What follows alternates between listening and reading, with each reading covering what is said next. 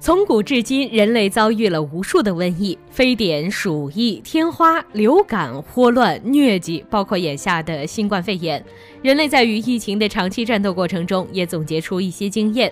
其中，古人就给我们留下过这样一句俗语：“瘟疫始于大雪，发于冬至，生于小寒，长于大寒，盛于立春，弱于雨水，衰于惊蛰。”按此说法，似乎随着干燥少雨的寒冬的过去之后，疫情会在气候转暖转湿的大环境下逐渐衰弱。那么这种说法是否有依据呢？这种理论其实在历史上是得到过验证的。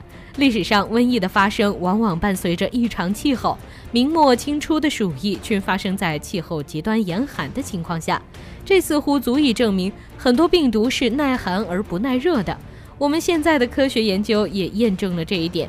科学家在极地地区、青藏高原以及西伯利亚冻原等地都发现过被当地极低的温度封盖住的病毒。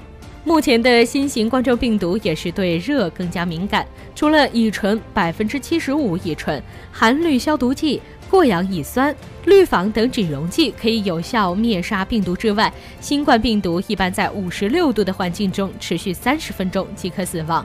因此，从古人的经验和现代医学实验都可以得出结论：病毒是耐寒不耐热的。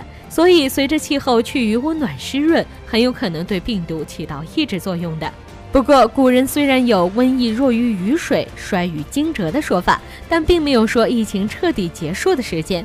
一方面，在正常情况下，一年中的最高气温也不会达到五十多摄氏度；另一方面，如果说在人体感染病毒之前，身处适当的高温环境的确利于抑制病毒的话，已感染的患者要用高温灭杀病毒的做法也并不可取。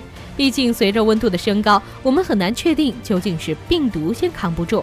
还是人先扛不住。从当年非典的经验来看，非典疫情是在夏天到来之后才被宣布战胜的。这也从侧面证明，温度的升高的确会对抑制病毒起到积极作用。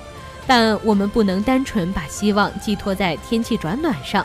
说到底，我们还是要切实做好防控工作。与其坐等气温回暖使病毒消失，不如每个人都切实做好自我隔离和个人防护。别让自己变成病毒传播扩散的介质。相信我们能够早日战胜疫情，让一切重回正常的轨道。